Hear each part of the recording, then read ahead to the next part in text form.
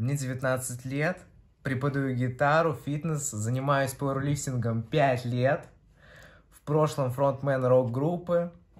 Умею готовить, хочу создать крепкую семью.